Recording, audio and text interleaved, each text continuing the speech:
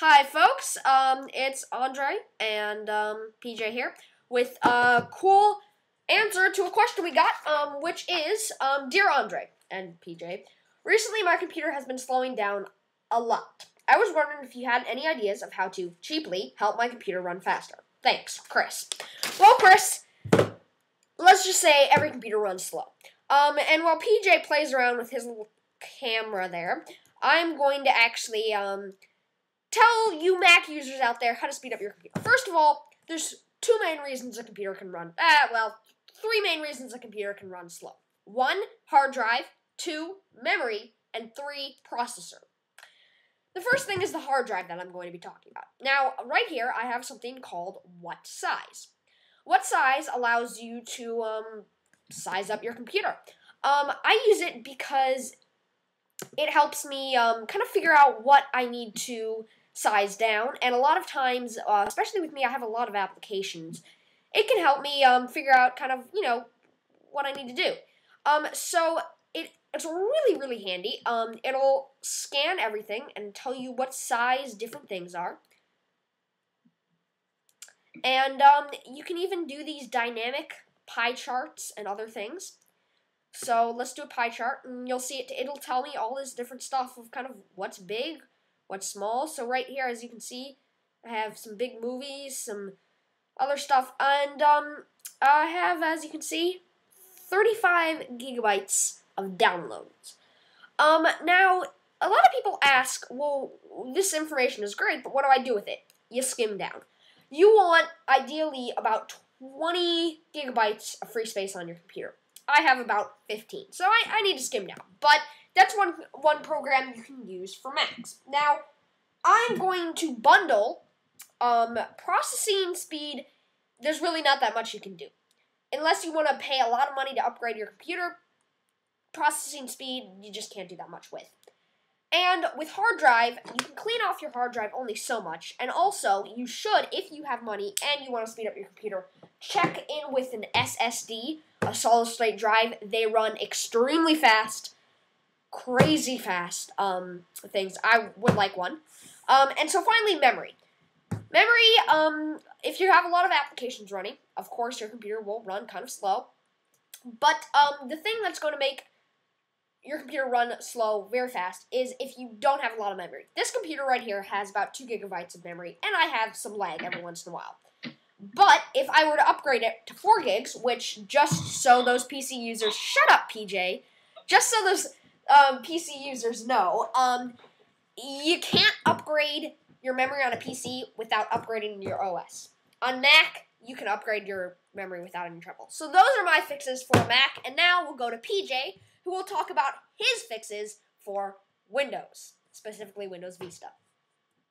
Okay, so um, with me for Windows and Andre for Mac, um, I don't like Mac. No, I'm just kidding. I love Mac. It's a great operating system. But let's not get into that. Um, the things to speed up your computer, Chris, um, are there's several. Um, pretty much you can just go into Start, All Programs, and then go up to the Accessories tab. And once that loads, you can come down to System Tools. Yeah, PJ, it's lagging way too much. Just switch Okay, to your um, video. Okay. And so once you go into System Tools, you can actually go into um, Disk Cleanup, Disk Defragment, or even a System Restore, which will restore back to a later date if you made a restore point. Now, what this cleanup is going to do is clean up your actual um, disk space. So um, every single partition there is and stuff like that. And disk fragment actually gets rid of the um, files that are not needed or not in use anymore. So if you have files like .dll files are removed a lot, and pretty much those are just unneeded files that download with a program.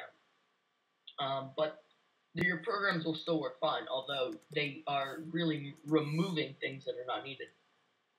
You can also set um set everything to automatically back up so that uh, later later on you can go and uh, do a system restore later if you uh, want to restore back.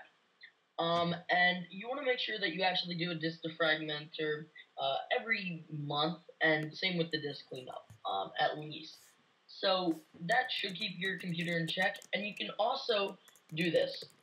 Go into Start, then right-click on where it says Computer or My Computer, then go to Properties, and then go to the Advanced System Settings in the uh, blue and green tab on the uh, left-hand side of the pop-up. And then um, it will ask you, the UAC will ask you for um, permission, and you just press continue.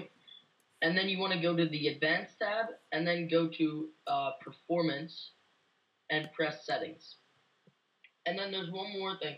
You need to go into the advanced tab one more time, and then go into virtual memory and click on change.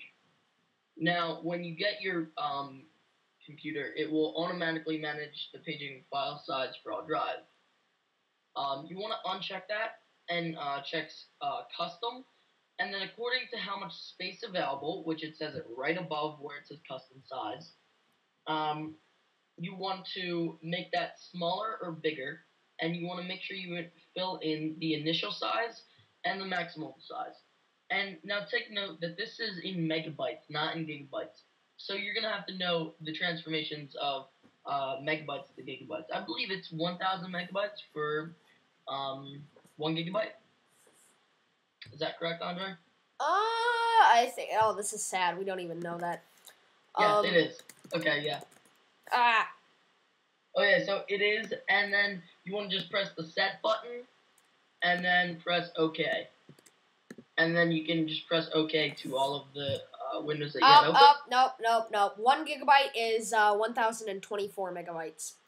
Okay, one gigabyte is one thousand twenty-four. Yeah, go to um, http egret.net slash kb under slash mb dot htm, and that's a converter. You can use that. That will be in the description.